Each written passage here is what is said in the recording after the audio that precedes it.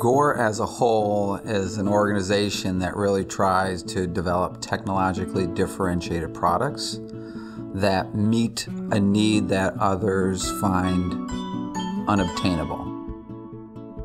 We like challenges.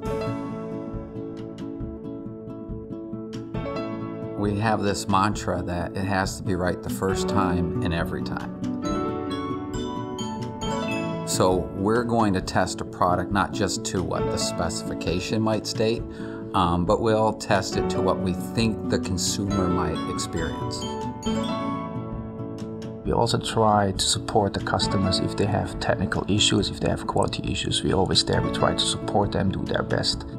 Not only in the design phase, but also in other phases in the development of a device.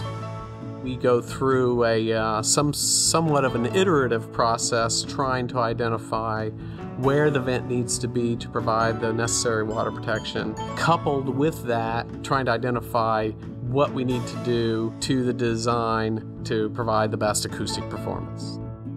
We will base on our uh, experiential results or our uh, experience to provide feedback to the customers because we, we want customers to achieve their best too.